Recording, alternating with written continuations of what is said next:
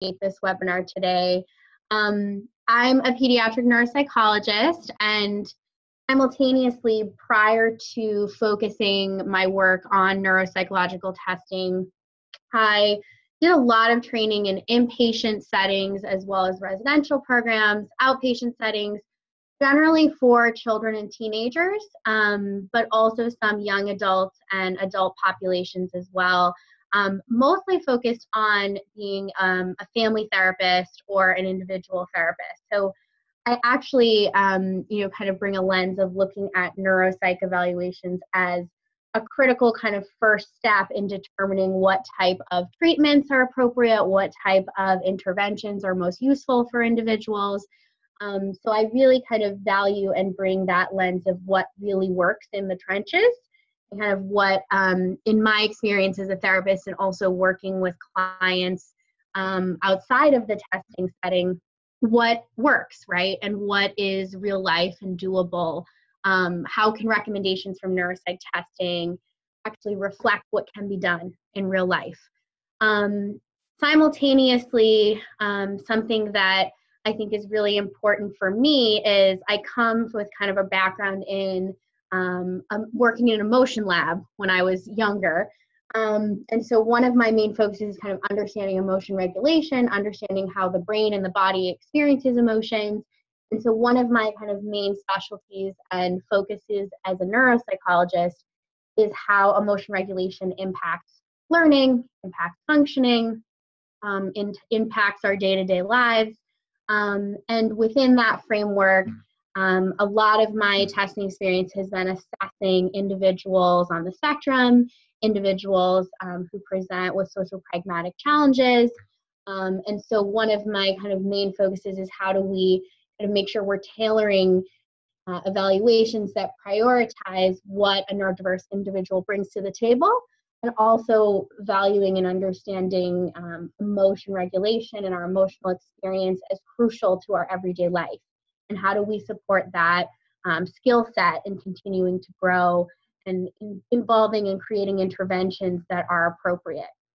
So today, this webinar, these are the things that we're going to focus on or what we're going to um, kind of the overview broad picture of what today's webinar is, is going to discuss. And first, I really want to start kind of at, you know, kind of bird's eye view level. What is a neuropsych evaluation?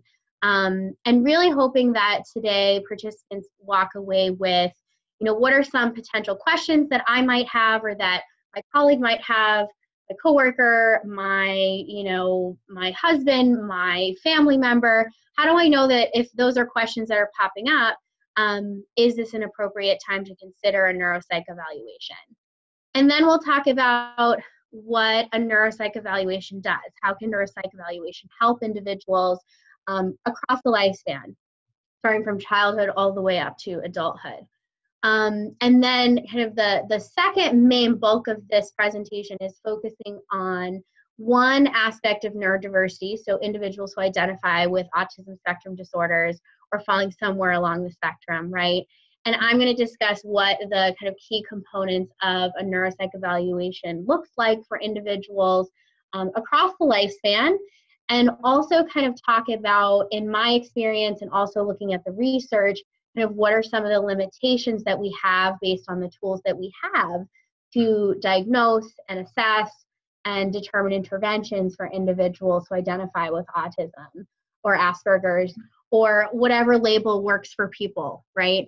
Um, and then within that framework, um, thinking about kind of what what tools do we have, what's an appropriate kind of um, plan that's in place that a neuropsychologist should use to assess individuals on the spectrum. I'm going to talk about why kind of a flexible, individualized approach to testing is really critical and really crucial, and what some of those components would look like. Um, and at the end of the day, walking away with you know, am I considering a neuropsych evaluation? Do I have um, other people in my life who are considering an eval? What are some questions I could ask a neuropsychologist? Um, you know, I always, whether it be a therapist or a neuropsychologist, right, or you know, whether we're buying a car, right, I really think about it as a consumer, right? So I want people to walk away thinking about what are some questions that I need answered to evaluate if this person is the right fit for me or for my questions or my needs? Okay. So, what is a neuropsych evaluation? Generally speaking, a neuropsych evaluation is an in depth assessment of skills and abilities that are linked to brain functions or aspects of how our brain works. Also, not only just the pieces of our brain, but how kind of parts of our brain are connected and interact, right? Um, and so, at a very basic level, a neuropsych eval is designed to look at skill sets that are associated with brain functioning. And the way we assess that is through administering a series of tests that are standardized or normed, meaning that lots of people have taken these tests and we have an idea of generally how people do, right? Whether it's kind of an average performance, above average, below average on certain tests that we would administer that evaluate specific skills and abilities that are linked to brain functioning. Now, simultaneously, as a practitioner and as a neuropsychologist, something that I think is very crucial and that is also in the literature and, and talked about in terms of best practice for neuropsychological evaluations is the importance of taking what those tests show us, how a person performs on a pencil and paper task, a task that's kind of relatively more hands on and problem solving oriented, and integrating what those data points mean with a person's history, with observations of how that experience was for that person taking those tests.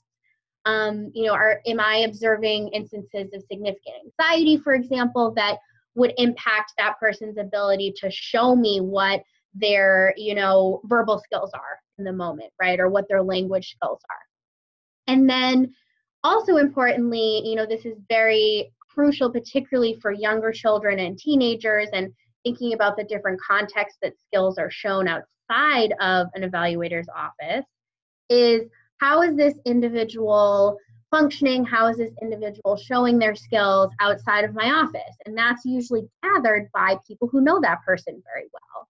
Now, sometimes for adults, that can also look like having a conversation with a spouse, having a conversation with a caregiver, someone who, you know, kind of day in and day out has a good understanding of what this individual um, is like outside of my office, right? And integrating that information into the data that I'm gathering. Likewise, self report, right? So there's a number of assessment measures that neuropsychologists use that involve questionnaires, right? And an evaluation of symptoms, inventories that people say, you know, I'm experiencing headaches most times or not often, right? And so making sure that self report is an integral piece of a neuropsych eval, but also kind of the, I think importantly, the the conversations that happen when you are going through the different tasks and the different um, activities that I do with children, teenagers, young adults, is you know what comes up in conversation? What are the things that are important for this person? What are they talking about with me as things that are really hard for them, things that are going well, and how does that integrate with the findings? Okay, so this is my, you know, diagram to show, I think everyone kind of here today is, you know, usually when I see people for the first time in my office, when there's an intake, when we're trying to decide, you know, is this neuropsychological evaluation right for me? There's usually a question, right? There's a question that people are coming in with whether it be for their child, whether it be for their spouse, whether it be for them themselves. Um, there's a question that kind of feels unanswered, right? Um, and you know, I've I think something that also comes up is we've tried these things. You know, my child's having a hard time with anxiety, and we've tried this type of treatment or this therapy, um, and it's not working, right? And so there's usually a question that people kind of bring to the table and have you know concerns or questions about, right? I think another important piece to this is that I get a number of referrals from families who have also interfaced with other important providers in their life, like a pediatrician, um, you know, a neurologist, an optometrist, their own therapist, right? And those people who are working with um, a client kind of day in and day out also have questions, right? And they might recommend a might really help us sort out what type of treatment you need, um, we might want to think about based on neuropsych eval, you know, what medication adjustments would happen or not. Um, you know, look at other options for treatment. That's definitely kind of a common kind of um, secondary question that comes in the door with a client is you know i have this important provider in my life and we we have questions and we need some questions answered. So um, what i've done is i've included kind of some um, you know of course there's a million questions right? And every person every family is different in terms of what questions they have that would be um, an appropriate question for a neuropsychologist to answer um, but I've included kind of what are some of the um, kind of common referral questions or things that come up um, when families come and meet with me for the first time. Um, and thinking about, you know, is this the right time for a neuropsych evaluation? So I, I categorize them into, you know, children, and we'll talk a little bit about teenagers and adults, right? And some questions that kind of lead to um, clients seeking a neuropsych eval. So for children, you know, a number of times I see young preschoolers, for example, where a family has questions about development, right? I'm concerned about my child's language skills, about their sentence speech, right? Um, or my child's having a hard time with walking and kind of seems pretty clumsy and uncoordinated at their age. Um, and so there's a question about development and wanting to assess if what a family or a preschool setting or a pediatrician is seeing is kind of normatively appropriate or if there are perhaps some areas of growth or areas of need that would need to be addressed right? Um, that's also a time frame where you know in terms of developmental skills it's kind of a, a useful time frame to think about are we able to early detect you know a broader kind of developmental process such as autism spectrum disorder such as you know a growing language disorder that might be pretty persist- persistent for a child throughout their life um, you know, capturing and assessing kind of early signs of um, learning disabilities, for example. Um, other things that are pretty common is, you know, my my child's acting out, he's having tantrums, she's, you know, really upset when she comes home from school, and we're having a hard time managing her at home with our other kids. Um, other things, you know, we're really concerned, you know, academically he's doing great, um, but the social piece and kind of his friendships, he doesn't really have that many friends. Um, she's not really able to keep her friends. She keeps getting into fights with her friends, right? So questions about kind of our, our social life and concerns about a child's social functioning. Um, then there's the questions about my child's really struggling in school.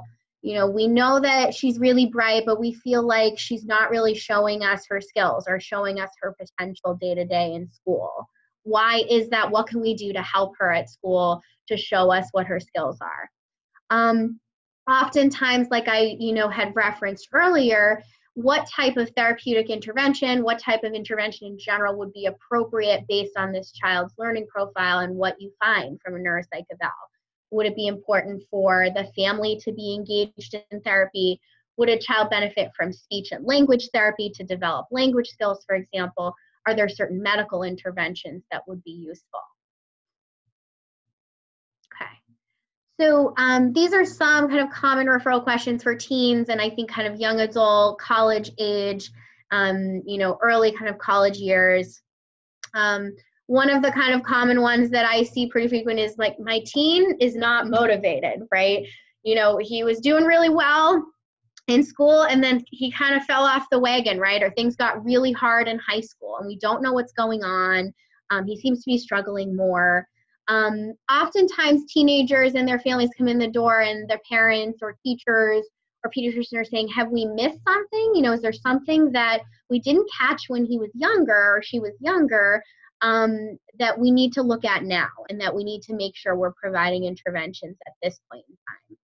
Um, other things involve you know getting ready for college right? So looking at what types of helpful accommodations would a teenager require in college based on their neuropsych findings and profile. Things such as you know making sure they have access to a learning support center when they go to college right? Um, or talking about kind of what's the plan in place for note taking if you know paying attention to a didactic presentation in college is really challenging what are some kind of tools and interventions that can help um, a college student perform in school, particularly in college.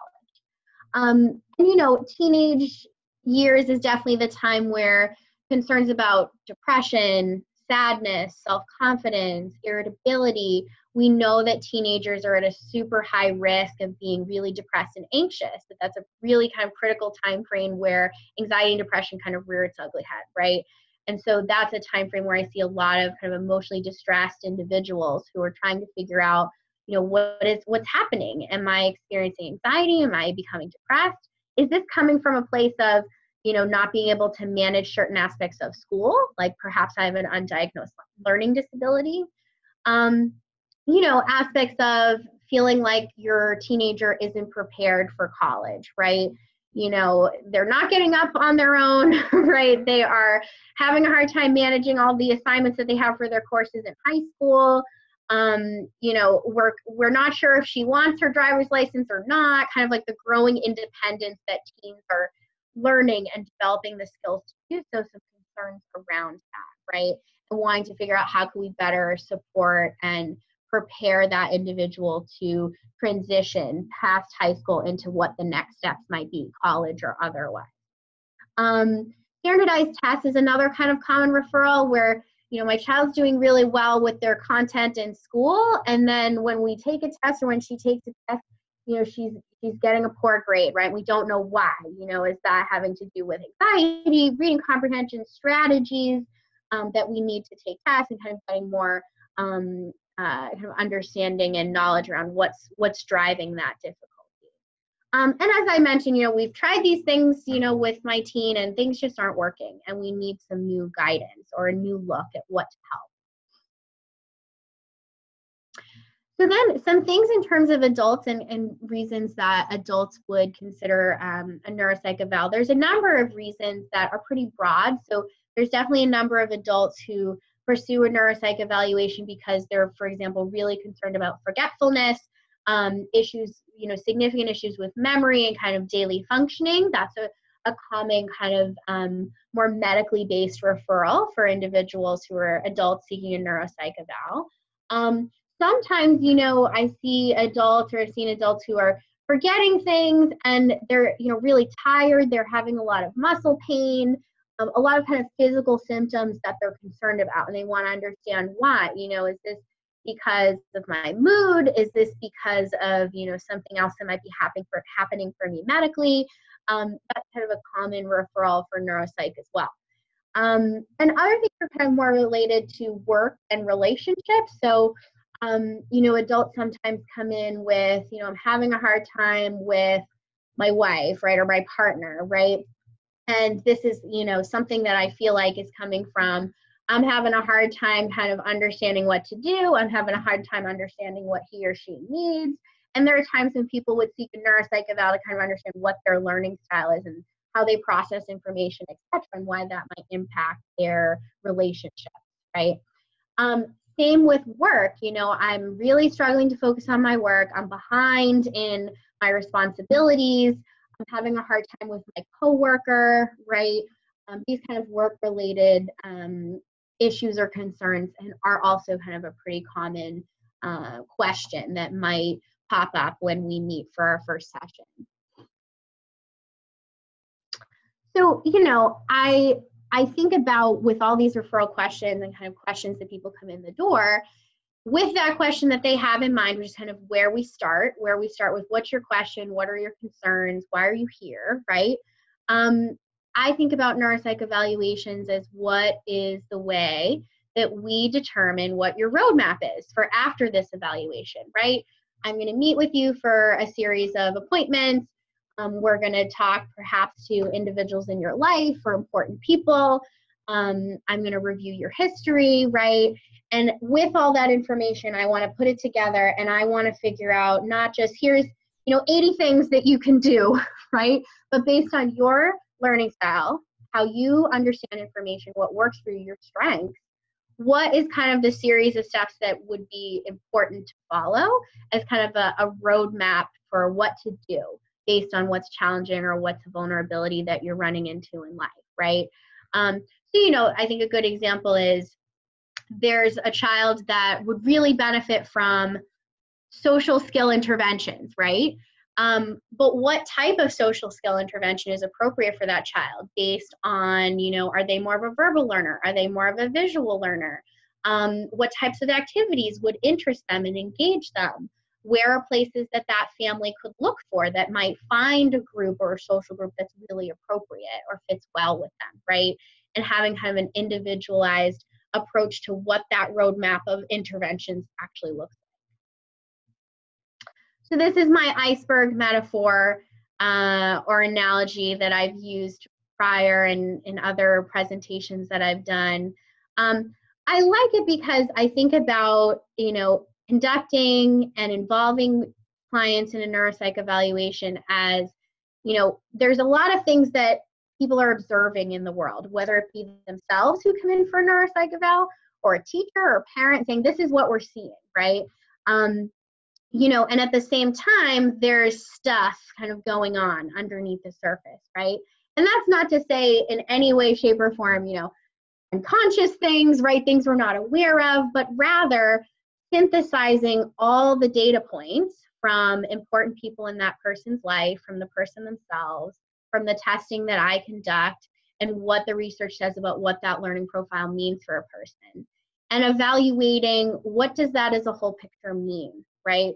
What does that mean based on all this information in terms of how they learn? What if we put all these pieces of the puzzle together? What does that result in, right? Um, so, you know, at the top I have, you know, kind of example of a, a child who, uh, you know, looks kind of frustrated at school, right? And on the other side, I have, you know, someone filling out a screener, right, or a questionnaire, right? Which questionnaires are wonderful, right? They are things that we might encounter in schools and pediatrician offices, which are really excellent tools to kind of capture symptoms, capture things that might be perhaps um, different or developmentally different than what would we expect based on a child's age, right? Um, and when I think about neuropsych testing, I think about what are all the other pieces of the puzzle that we can assess through testing, through coordinating all the pieces that take into account what teachers are saying, what parents are saying, what that person is saying, what's being reported on a screener that's helping us determine if there is a vulnerability or not, and then making sure we have all the pieces of the puzzle to tell us exactly what we have to do and what are the interventions that are most appropriate. So I'll give an example. So, you know, let's call him Eddie, right? So Eddie's in the fourth grade and he is really frustrated when he's sitting at his desk, right? He's having a really hard time focusing. Um, his teachers are raising concerns that he doesn't have any friends in school, um, that you know his eye contact is kind of off, and he's he seems kind of you know disconnected and not really kind of socially engaged. Um, you know, other things that are noticed are, you know, he seems to kind of be always wearing the same shirt all the time, right? Or there's certain types of clothes that he really likes, right? Or that he seems to be really interested in wearing. We don't know why, right? we, we kind of, you know, are, are wondering, right? What is that from? Um, other things are, you know, he's having a hard time at math, he's getting super frustrated. Um, you know, things like he's pretty forgetful, right? Um, and you know, sometimes this frustration can look like having an outburst in class where he gets really upset, right? Um, and so oftentimes, you know, families, whether it be online, right, or kind of in the real world, we fill out questionnaires and we say, okay, you know, these are some of the things my child is showing me. What does this mean, right? What could this possibly be? Um, and this is what I consider kind of the strengths and challenges of kind of these checklists and rating scales that are out there in the world, which I use in neuropsychological evaluations to assess symptoms and to assess functioning as, again, kind of one piece of the puzzle that puts all the pieces together. Um, so if you look at some of these um, uh, um, symptoms or sentences that people would indicate, say a parent or teacher, is this what my child is doing, right? Most of the time, not often, kind of in the middle. Can't get his mind off certain thoughts. He's got some nervous movements twitching. He's picking his nose, his skin. He'd rather be alone than with others. He's having a hard time making friends. Um, you know, he's sleeping less. He's repeating certain acts over and over again. He's having a hard time paying attention. He seems kind of sensitive to sounds and textures. He's pretty rigid and inflexible, and he seems kind of spacey, you know, staring off or gazing off in class, right, or at home. And so you fill out these questionnaires and you get kind of a report that says these are the possibilities, right? And at the end of the day, do we know if based on those responses and symptoms, where is this coming from for Eddie, right? There's so many possibilities. There's so many reasons why those symptoms would be checked, right? To say, yes, these are things that we are observing, that we are concerned about. We want to help Eddie. We want to figure out what's going on, what types of interventions he needs, right? And the reality is, is that, you know, this is just a, a brief list, right, of all the possibilities, right? Is Eddie really stressed? Did he just move to a new school and he's having a hard time, right? Does Eddie also or not have um, an underlying language disorder that hasn't been diagnosed that's affecting his ability to socialize and to communicate what he needs to other peers? Is he experiencing anxiety, right? Is there underlying physical symptoms that he's experiencing, such as hearing loss, right? All these possibilities can result in, you know, a yes, right? To many of those questions. And that's why looking deeper kind of at the the the other layers of the iceberg right with that analogy that we're using is how neuropsych evaluations can tease out and determine what are we looking at right and we care about that because that determines what is going to work, right? And what are potential avenues of support at school, outside of school that are going to help Eddie based on what's going on with him, right? Okay. So, you know, I've said this many times, right? So I think of neuropsych evaluations as the whole picture, right? Taking all the pieces of data that have already been gathered, um, looking at observations and parent and teacher report, individual self-report, um, and determining if we put all that together with the tests, the activities, and the standardized assessments that we have to look at how you process information, how you learn, what that means about your functioning, what does that tell us? What is kind of the whole picture um, diagnosis, whole picture learning style that would then guide what interventions we would um, recommend? So these are um, kind of an overview of the key components of a neuropsych evaluation, right? Um, and these in, involve skills such as looking at IQ or intelligence, your problem solving skills, planning and abstract thinking, your attention span, your ability to kind of learn and retain information and hold on to information, your memory systems, which are integrally related to learning, um, language skills, right? both at, in terms of your expressive capacities, your receptive, your understanding of language, as well as kind of the social communication, social pragmatics of language. Um, you know, taking a, a deeper dive at your visual spatial perception, your motor behaviors, your sensory skills, um, fine motor skills, gross motor skills. And then these things that I've bolded at the end, I bold because um, there are definitely some neuropsych evaluations that perhaps may not include a review of academic skills, right? Pending age, developmental status, you know, if I'm working with an adult, um, you know, who's working, of course, versus, you know, a young child that's struggling in school, that might determine to what extent I dive into your academic skills and academic and then, of course, there are areas of social and emotional development that, pending what the referral questionnaires or what the questions are, some neuropsych evals may not perhaps um, kind of dive more deeply into those areas of. Similarly with adaptive skills, which I'll talk about later, um, so adaptive thinking about kind of the real life skills that you use day to day to function in the world, like daily living skills, you know, safety awareness, um, you know, your communication, you know, with other people in the community. Um, that is also kind of an important component of a neuropsych eval for certain referral questions, for example, determining if an individual is falling somewhere on the autism spectrum, right? Um, or kind of determining what types of services would be appropriate for a person.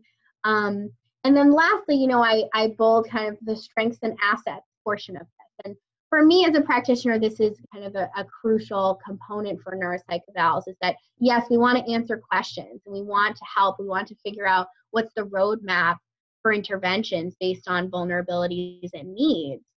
Um, but also, we want to determine what this individual's strengths are, how they learn, right? What are they good at? what does that mean in terms of what information is going to be more accessible to them what information is going to be harder for them in school what does that mean about you know their friendships and their ability to sustain friendships um, i see that as definitely you know a core component that you know we i would hope that would be a, a core piece of what any neuropsych eval contains right? Um, okay so i've discussed this kind of in whole picture terms prior but you know what are we what do you do with a neuropsych report once it's complete right? So um, standardly you know at the end of a neuropsych evaluation you're provided a written report of findings and recommendations based on those findings I think that neuropsych evals at a very kind of top level process is a way of understanding either my own or my relatives, child's, etc., what their challenges are, what their strengths are, what those look like across different settings at home, school, work, etc. Therefore, determining what the appropriate treatments are or the appropriate approaches that would be helpful for that individual to feel more happy and confident, whatever the you know referral referral question is. Um, I also think about you know the importance of neuropsych evals having really relevant and individualized resources, right? So there's definitely some times where neuropsych evals kind of give that cookie cutter recommendations of here's like 72 books for you to read about ADHD, right? Or here's 72 books for you to read about autism, right? And I think that it's really critical, and I very much prioritize in my evals for what specific book that there's a million wonderful books that are useful for parents, useful for individuals, might be really useful for this person based on their learning style, based on their strengths, right? Um, what specific social group, like I mentioned before, which what specific community support group, right, would be an appropriate fit for this individual um, particularly for children, teenagers, and young adults. Um, neuropsych evals are pretty crucial for IEP development or an individualized education program, um, kind of planning 504 plans for determining what are the kind of areas of need that my, that this child or this teen is demonstrating in testing that demands kind of interventions within school, right? So that's definitely a common kind of um, result or use of a neuropsych eval. Similarly, you know, supporting transition planning for high schoolers, um, you know, thinking about what does transition planning look like? What's this person's, you know, vision for their future? What are they thinking about? What are some options for post high school, right? And prioritizing in the neuropsych eval that this is really important for this person, right? That we have to start working on this now rather than later. Um, and for adults, you know, what could be useful in the work setting, right? Um, providing recommendations around allowing or you know supporting an individual in their work setting having access to breaks perhaps having and sorting out how to have a more adjustable work schedule um, you know specialized tools that can be used for project management or task management um, in you know work settings like assistive tech things such as speech to text technology and you know, pens that kind of take notes while you're taking notes, right? An audio record for you. What are those kind of tools that would be useful in a work setting? So now I'm going to switch gears and I'm going to discuss the key components of what I consider a neuropsych evaluation for autism spectrum disorders, right? Um, thinking across, you know, the broad spectrum, right? And thinking about how does neuropsych evaluation support neurodiversity, right? And I, I took this from AANE's website because I like this um, definition of what neurodiversity is to talk about this. It's the idea that neurological differences like autism, dyslexia, and ADHD are the result of normal natural variations in the human genome. This represents a new and fundamental different way of looking at conditions traditionally pathologized. Um, and you know, this is a term that has definitely um, luckily become more prevalent and more kind of ingrained in how um, providers, how individuals in the world are talking about um, autism spectrum disorders, other diagnoses such as ADHD, dyslexia, learning disabilities, etc., um, and trying to really focus on you know, this is a way of learning, this is a way of thinking. And I think about a neuropsych eval as one of kind of the crucial tools that allows for both myself and more importantly, the individual or the family to understand how this person learns some things, what are their strengths, right? Not just what's a you know label that we can call this you know this kind of more traditional kind of pathologized history right? But instead what does this learning style mean for this person? How does this person view the world right and i think that that is doable and accessible in a comprehensive neuropsych eval that values that neurodiversity right? And value values that construct and that reality as crucial right? Um, so these are some of the tenets that I have developed um, as I'm talking about kind of neurodiversity and assessing neurodiverse populations, and specifically as we're going to talk about, um, you know, kind of the formalized assessments we have for assessing individuals on the spectrum. Um, I think about the importance of capturing the challenges, capturing the strengths. What's the snapshot of how this person learns? How does this person view the world? What matters to them? What are the things that are really challenging for them right now and why what are the things that they're doing well with and you know simultaneously what does this label mean for this person and i think in my experience as a practitioner you know that's highly dependent on the person it's highly dependent on the context right so there's aspects of life in terms of how to diagnose these delineate services provide crucial interventions that individuals need and then there is the person level of what does this label mean to this person? What's its usefulness? Um, similarly, you know, thinking about the labels and, you know, the kind of diagnostic categories that we use to capture strengths and challenges um, in neuropsych evals is what are kind of the implications of that diagnosis, both in terms of kind of a familial and a cultural context and what this means for a person's worldview. Um, and I don't know, just to recommend a wonderful book.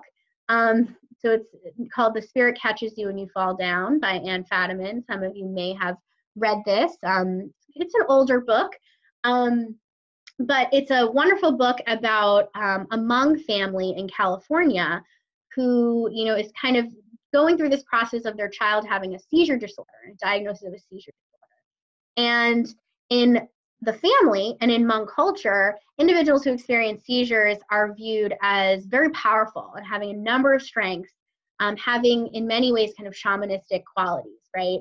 And then simultaneously, we have, you know, in this story, you know, the medical profession and the, you know, the realities of medication management for seizure, right?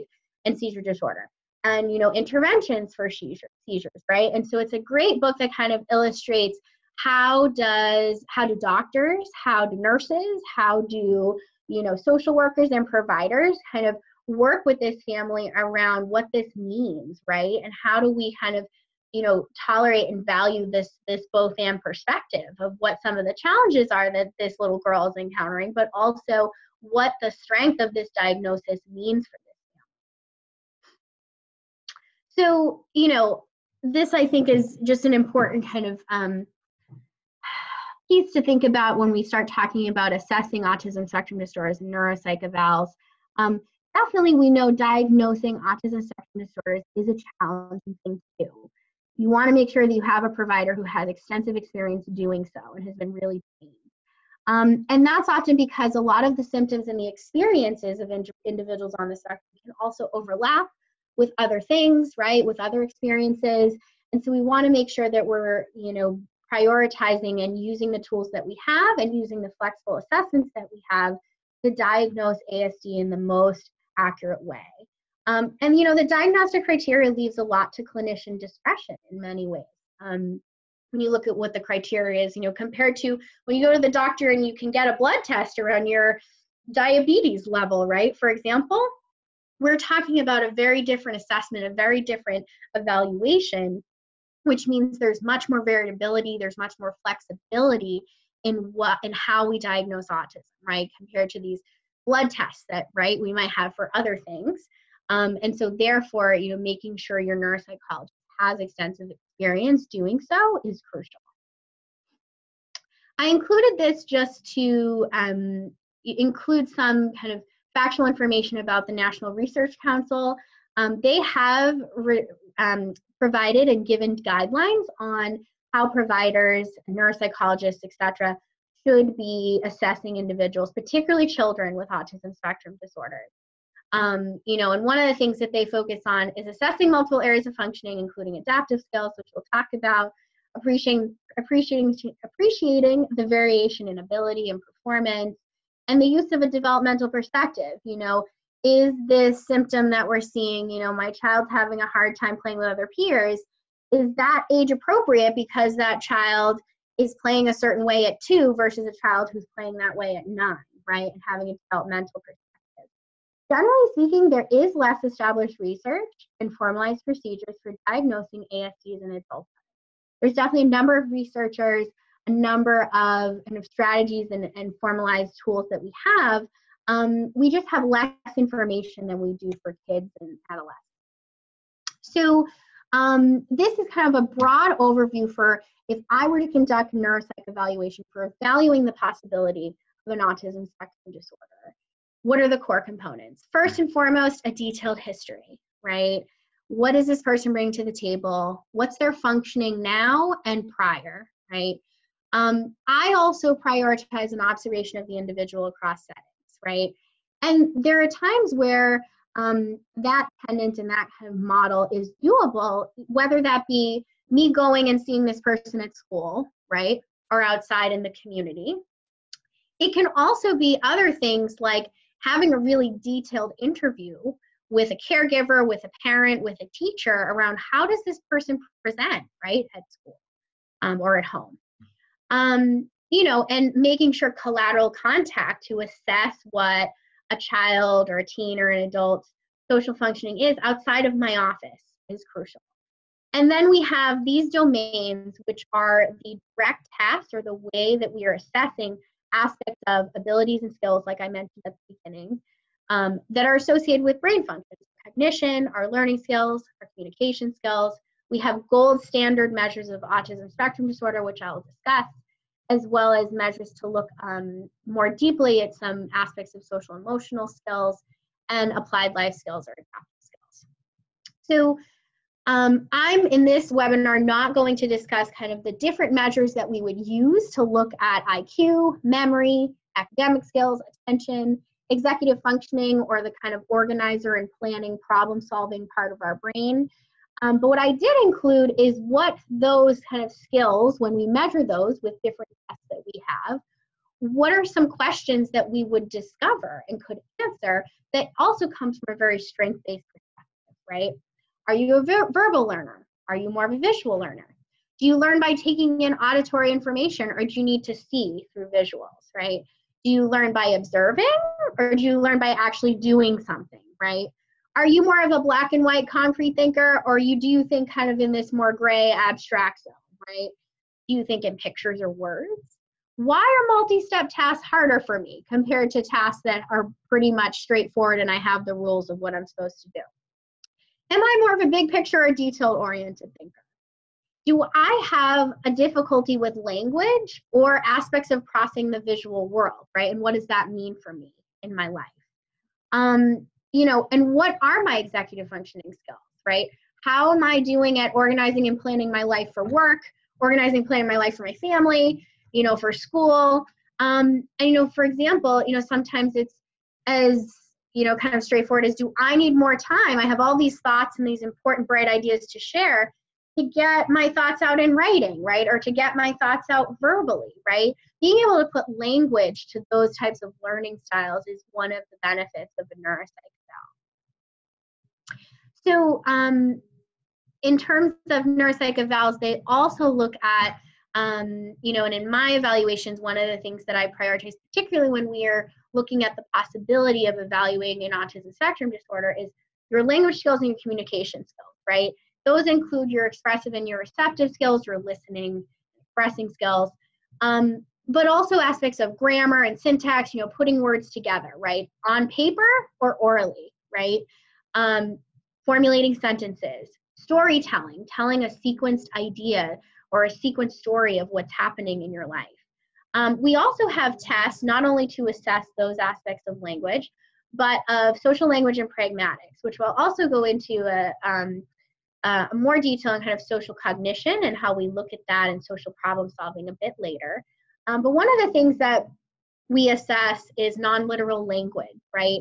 So, you know, I include, you know, dogs and cats. It's raining cats and dogs. I'm going to hit the hay, right? And I'm evaluating developmentally, are there individuals where that type of kind of abstract, you know, figurative language is a harder thing for them to understand and process or not? That's definitely a crucial component of looking at your language skills. Then we have the adaptive functioning or applied life skills, which again, I've mentioned prior and is mentioned in the National Research Council's guidelines and kind of how we should be assessing autism, possibility. Um, so adaptive functioning is critical, particularly because it can help delineate kind of what the severity level and the service delivery looks like for individuals who have autism spectrum disorder. Um, adaptive functioning skills are critical for post-secondary transition planning, so life after high school, right, your community skills, your safety awareness, your ability to organize and plan your life through a calendar, right? Um, and importantly, adaptive functioning skills are what an individual does in real life independently, not what they're capable of. So these are questionnaires that are usually completed by a caregiver, a teacher, someone who knows the person very well with a series of questions and skills. And importantly, you know, the questions are geared at you know, this person can do it, right? But can they do it independently most of the time? Or do they need a lot of help, a lot of support? Because we want to assess what are the skills that this person needs a lot of support for right now? And do we need to build their independence in showing us those skills in order to function in the real world? So those adaptive functioning measures measure things like practical skills, social skills, conceptual skills, I mentioned safety awareness, also self-care skills, you know, showering, um, brushing your teeth, also, you know, making a small meal when you're hungry, knowing how to use appliances in the kitchen, communication skills, like in the community, are you able to order, you know, something at a restaurant, right? Um, work skills and community skills, like can you express your ideas in an email, right, or in writing? Those are areas of function we'd want to assess to determine are there skills that we would want to delineate as crucial for kind of building this person's sense of self agency and independence in functioning. So, then another aspect of neuropsych evaluations is emotional functioning and getting an assessment of how an individual experiences emotions and if there are any signs that this person is experiencing clinically significant or have more severe symptoms of diagnoses such as anxiety, depression, instances of trauma, PTSD, mood instability, behavioral challenges, aggression, OCD, right? Um, all these kind of mental health concerns that we would want to evaluate and determine if this is a piece of the puzzle, right? Um, in neuropsych evals, this is mostly done through self-report, both um, with questionnaires, like we've discussed, as well as you know informal interview when testing, behavioral observations. You know, what are the things I'm noticing while this person is going through this testing? Are they really, really tired? Do they appear really anxious? Do they feel really distracted? Um, as well as kind of other reports from collateral information, whether that be a parent or me having a conversation with an adult therapist, right, about what their functioning emotionally is right now. Um, we have some standardized measures that can provide some data for emotional functioning, um, such as affect recognition is a test for young children, um, looking at kind of an individual's capacity to identify and discriminate between different feeling states. Um, and a large part of evaluating emotional functioning is rested on, again, the real world experience of that person or the people who are in that person's I'm going to say um, some information and provide some information about projective or performance performance based testing because this type of testing is sometimes included within a neuropsych evaluation. Now, importantly, I have specialized training and expertise in projective or performance based testing, which I will describe.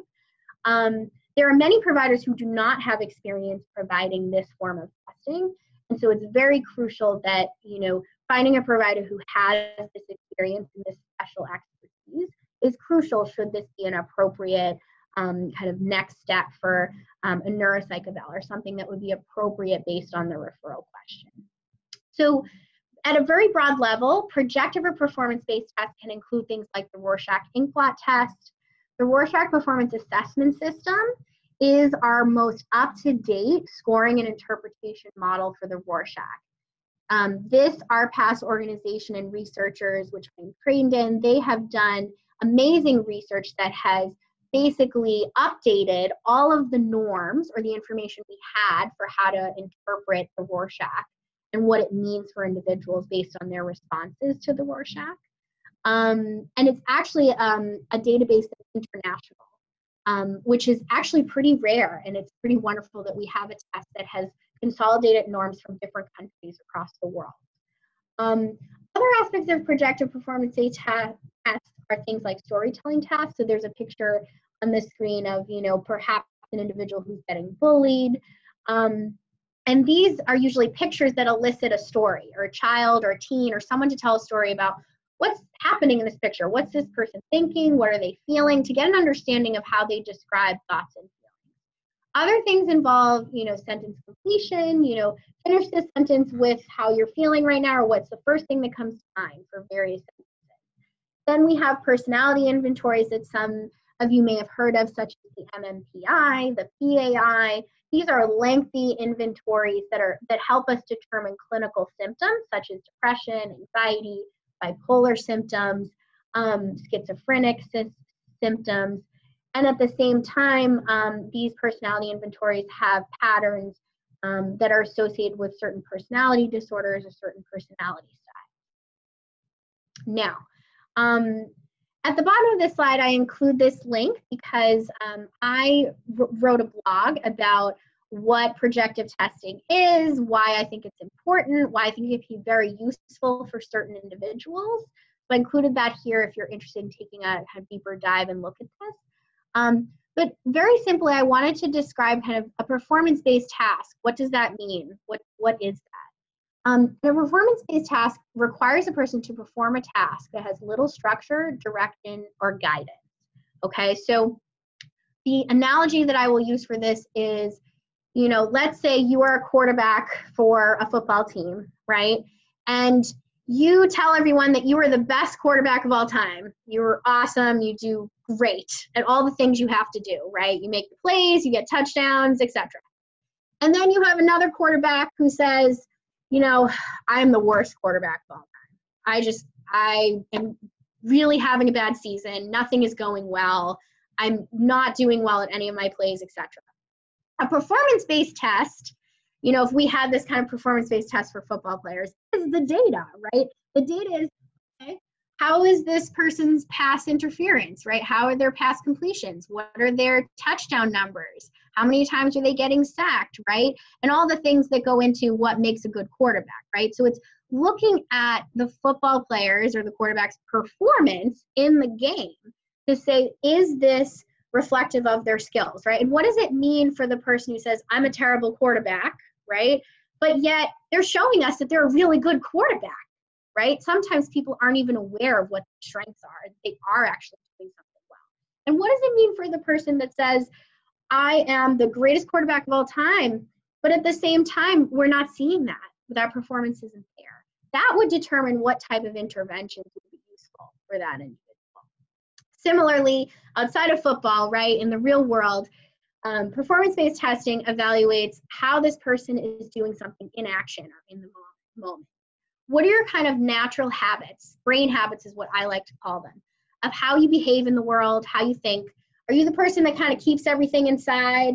It's like, I'm fine, I'm good. Or are you the person that just like easily explodes, right? And kind of, it's kind of, you know, something sets you off and you're suddenly exploding, right? Those are two different coping styles, two different ways of um, experiencing Performance-based tests, therefore, can also give us this, a look at, based on your coping style and how you experience emotions, how does it impact your self-esteem, your ways of relating to other people, your life in the world in general.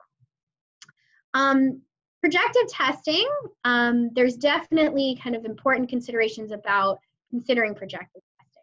Common referrals can be related to um, what the RPAS has really excellent validity around, which are things like psychosis, trauma and attachment, treatment resistant depression, anxiety, personality patterns, high risk behaviors such as substance use and suicidal thinking.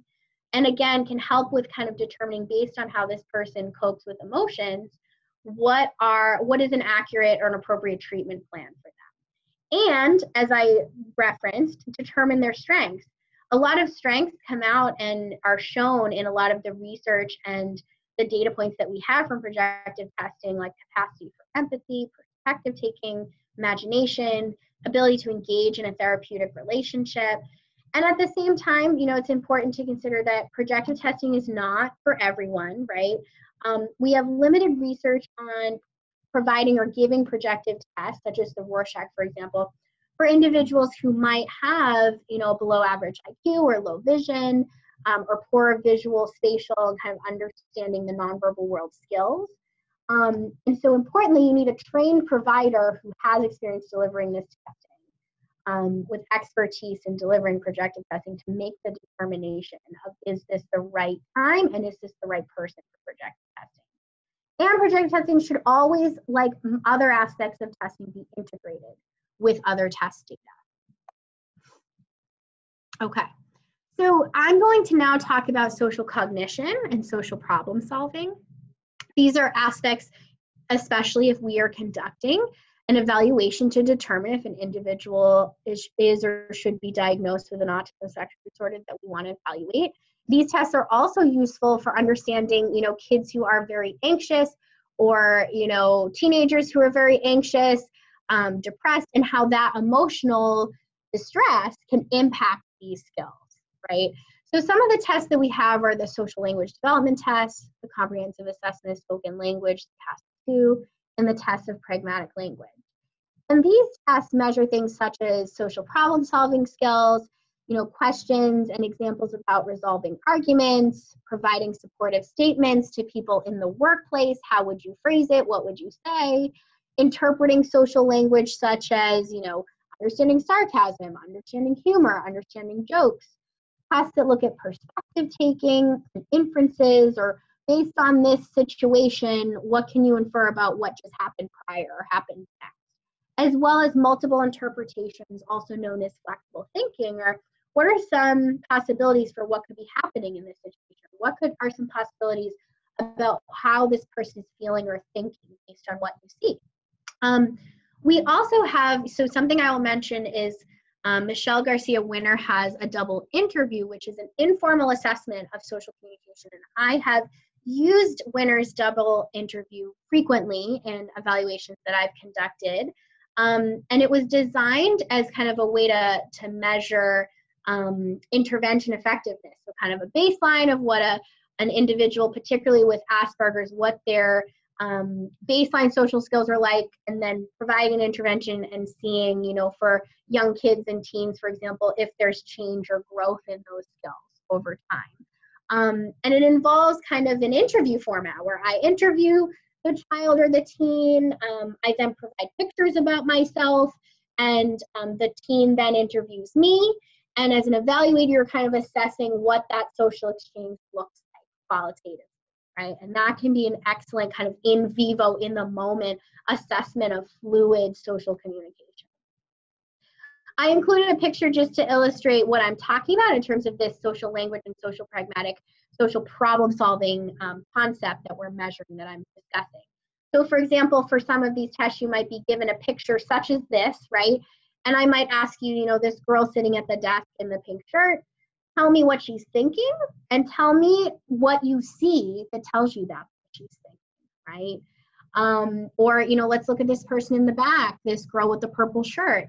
Um, what is she thinking? How do you know that's what she's thinking? querying and understanding, you know, what are some aspects of nonverbal communication that people could explain based on this It give you signs that this is, you know, this person seems upset or this person might feel isolated and they wanted to join the game and they couldn't join the game, right? Similarly, here's another um, another photo to illustrate, you know, flexible thinking or multiple interpretations.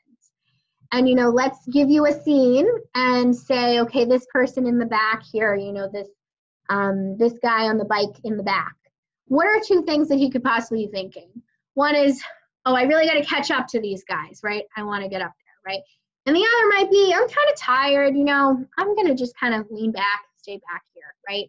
So there's different ways of kind of viewing and interpreting what's happening in a situation um, we want to assess that cognitive, um, that social cognitive skill to see if that's something that's challenging for people that perhaps would impact their social communication or their flexibility in social interactions. So we have gold standard measures for autism spectrum disorders. Um, some of you on this webinar may have um, either um, been administered an ADOS-2 or know someone who has received an ADOS-2. Um, the ADOS is the Autism Diagnostic Observation Schedule, second edition. And this is a standardized measure with lots of research on determining if an individual falls on the autism spectrum. Measure of communication, social interaction, play, and restricted and repetitive behaviors. Um, it's normed for individuals aged 12 months to adulthood. They have different formats that are based on individuals' level of language. Um, and administering and providing the ADOS-2 requires special training to administer it or it to interpret what it means. And like all of the measurements that we have and that we've been talking about, it is not sufficient for a diagnosis without other data to support that, right? Um, and similarly, you know, that's true like we were talking about with projective testing or, you know, rating scales like we were talking about prior. Again, this is where the whole picture of putting all the puzzle pieces together in neuropsych comes in. Um, the ADOS-2 is supposed to be kind of a social world rather than a test. What I mean by that is there's a lot of activities, there's a lot of conversations that I am taking notes and observing and um, tracking how individuals are behaving socially across different tasks that we have data um, in terms of how does an individual with autism perform on this task versus an individual um, who does not have an autism spectrum disorder. Um, there are other gold standard measures for autism spectrum disorders that are diagnostic interviews or pretty lengthy questionnaires for caregivers um, that you also need training um, and expertise to um, administer and to ask the questions and assess um, what the symptoms are. And those include the CARS, the Child Autism Rating Scale, um, and the Autism Diagnostic Interview Revised. There are um, also a number of autism spectrum disorders rating scales. Um, and these are kind of different than these lengthy diagnostic interview questionnaires that I was just discussing, the CARS and the ADIR. These are shorter questionnaires that can be completed by caregivers. There's also a version for the SRS that's for adults, um, both child and adult. And um, again, remembering the importance of how do we take what's being reported for symptoms on these rating scales, and similar to the ADOS and what we just discussed, should be incorporated with other data to provide a diagnosis. Um, to give you an understanding or just a look at some of the skills and behaviors that are assessed for, assessed, for example, in the ADOS, when I administer the ADOS, um, these depend on developmental stage, right? So, you know, we're doing make-believe joint interactive play with a five-year-old, and if I'm providing or giving an ADOS to, you know, a 20-year-old, we're not doing make-believe joint interactive play. Um, you know, looking at joint attention, use of body language, gestures to communicate a message, um, storytelling skills, spontaneous offering of information. Um, if individuals kind of become stuck or perseverative on discussing an interest or something that they're interested in, um, if there's interested of re repetitive topics, as well as thinking about, you know, especially for the for the older individuals, discussing emotions, discussing work relationships, friendships, getting a sense of their insight into their relationships and how they feel about social relationships at this point in their lives, if they're having difficulties or don't identify difficulties, as well as assessing and in a very research validated way on the ADOS, what are some of the conversational skills that people are demonstrating? Eye contact, using body gestures or you know uh, body language or gestures, following a lead or a conversational lead that I offer and kind of carrying that social chit chat exchange, um, as well as if, if I observe any sensory behaviors, either becoming overstimulated or focused. So importantly, you know, I, I feel like I've, I've referenced this a few times. Diagnosis is about functioning in the world, right? And it's never just about what these test scores are. It's never about one test and what it says. Um, they are meant to be incorporated, even the gold standard measures, into a thorough evaluation. Um, and importantly, you need collateral information about real life skills and detailed history. Um, you know, and I I think about social emotional issues as this, you know, this bomb of mixture of things, right? So if we're looking at a child's or a teen's or an adult's social skills, perhaps how emotional issues interact with that or not, um, that is a challenging area to assess, right? It's not kind of cookie cutter. Things aren't kind of divided into, you know, this blood test for this, this blood test, right? It's all mixed together. So it involves a very kind of detailed, comprehensive look at all the possible factors.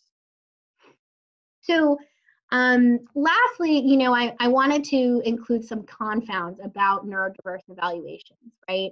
Um, importantly, questionnaires can miss autism spectrum disorders, like we had referenced with her, um, you know, looking even at Eddie's profile, right? Is it possible that Eddie might have had an autism spectrum disorder? Possibly, right? But we don't know until we do, um, you know, kind of a, a thorough eval of his skills.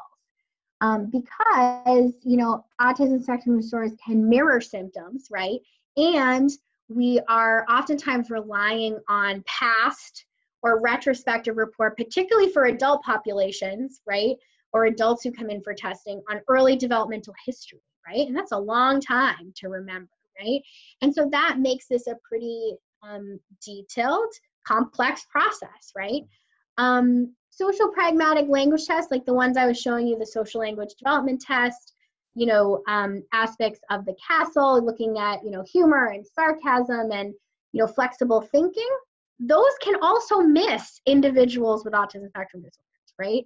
Because there are many individuals who are really good at they're super bright people who know the social rules, right? But it's never diff- nevertheless difficult to kind of fluidly do all those social rules day to day. That's something I run into pretty frequently in my practice. Um, there's definitely, you know, difference between how an individual performs on the ADOS-2 in the office versus what their social functioning is like outside of my office. And that's where the collateral report really matters.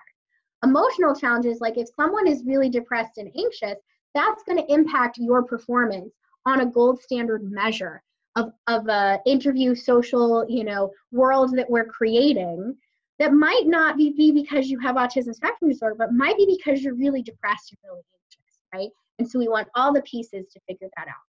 There's also a gap in reliable as an evidence-based pro- evidence-based um, process for diagnosing, particularly adults, and as we know, which this emerging important research that we are in the field looking at is that girls and women and also individuals who identify as non-binary or gender fluid that that population of individuals are getting missed right? There are individuals that we're diagnosing later that have been missed as young children, right, and are experiencing perhaps more challenges as adults, right? And so we don't have a really good, solid tool or process of assessing those populations. And I use this as an example. We won't go through, you know, kind of all these pieces. Um, but, you know, just in my own practice and looking at the research that's out there around, you know, the lost girls, right, or the invisible girls that we're kind of missing, right, with autism, that is because a large part of our diagnostic criteria, a large, most of our amount of research that we have is focused on male populations and male participants. So we have less understanding of what an autism spectrum disorder profile might look like for a girl with autism. We have made progress in that area, but yet we don't have kind of the tools and the formal assessments that have caught up with the research, right? Um, you know, so I see a number of girls who the referral is, you know, they're really sad and anxious, right? I see a high school girl and, you know, she's having a hard time at school. She's, you know, exploding at home, right?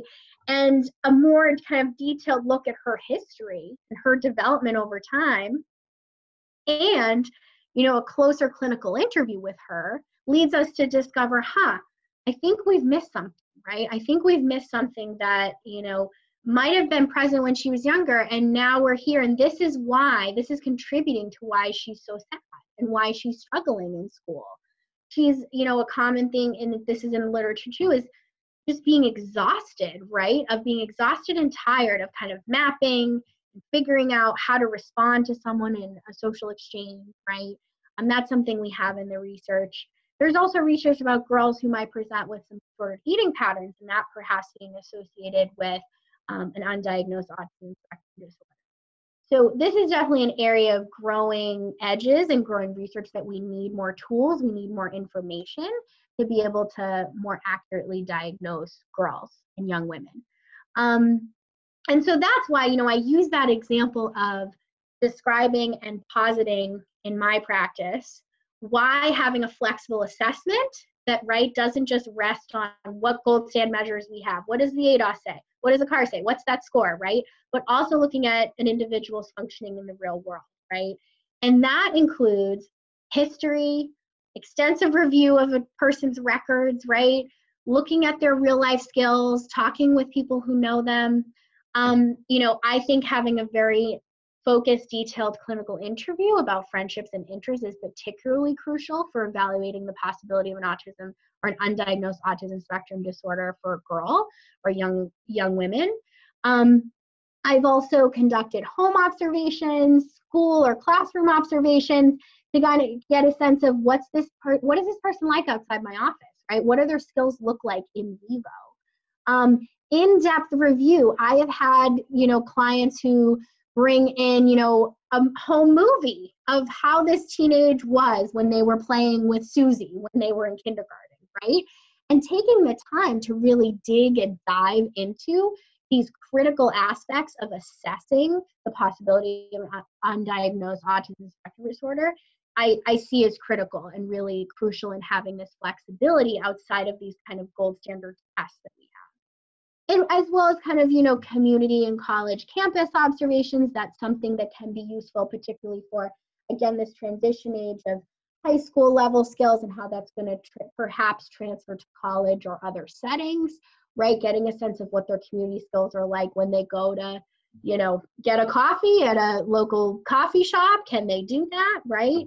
Um, looking at social interactive skills in that context can be really informative of how this person is experiencing social life day to day. Um, and that connects to kind of the flexibility around looking at perhaps a more focused transition evaluation and determining kind of what a person's skills are now and what their vision is for the future. Um, kind of focus and hone in on that aspect of their functioning um, to most helpful in a, in a very kind of targeted way, saying this is what's crucial for them right now in the real world, right? Um, you know, in some ways, we don't care what they're, you know, if they have great reading comprehension on your neuropsych test. We care about if they can, you know, function in the world and, you know, get a job, right? All the things that matter. Let's refocus in assessing those skills to what supports to need. Um, so lastly, you know, this is kind of a summary, um, and I know these slides will be available after this webinar for people to view.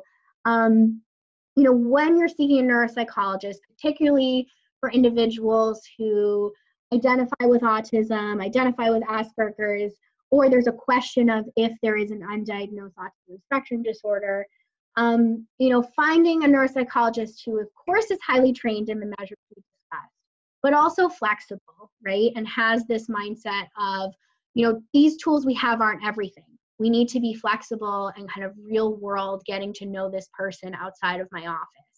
Assessing multiple domains of functioning, synthesizing what that means, um, and focused on what are these individual roadmap recommendations for this person, right? Not necessarily the cookie cutter, right? But what are what are the books that matter to me? What are the groups that would help me? What type of therapy should I consider? Are there certain community agencies that would be a good fit for me based on my interests? Um, I know that AANE, you know, itself has a wonderful directory of experienced providers um, that you could consult and kind of looking at where are some neuropsychologists perhaps in my area that, you know, have experience assessing individuals um, who identify on the spectrum or there's a question of, of spectrum.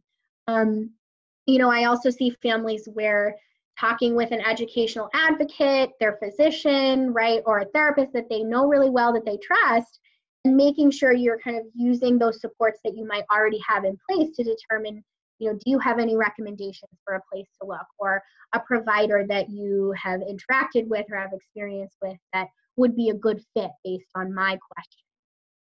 I will leave with this, which is these are some kind of, I think, helpful questions um, to ask a neuropsychologist in that first meeting or even on the phone if you're, you know, I sometimes have phone consultations with individuals where, you know, we talk through kind of presenting concerns and if I would be a good fit for um, a neuropsych eval based on the referral question. Um, you know, what's your approach to testing? Is there flexibility in conducting observations outside of the office setting? Um, you know, are you a provider who would speak to, you know, my therapist or my child's, you know, speech and language pathologist who's known him for years, right?